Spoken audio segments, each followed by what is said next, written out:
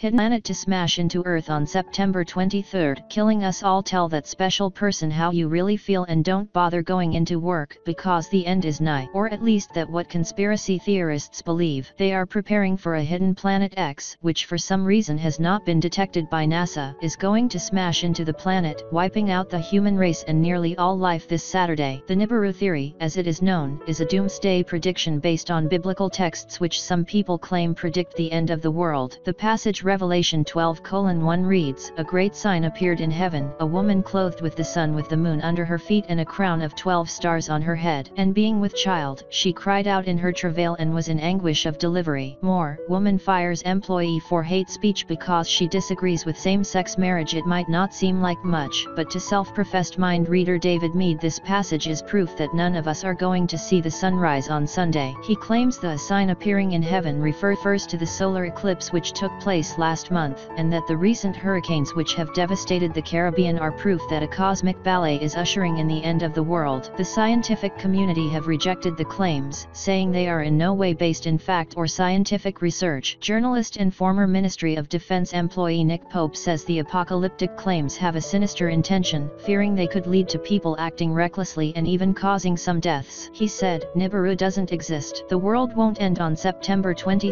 All that's happening is that a hoax is being being perpetuated in the name of evangelical Christianity.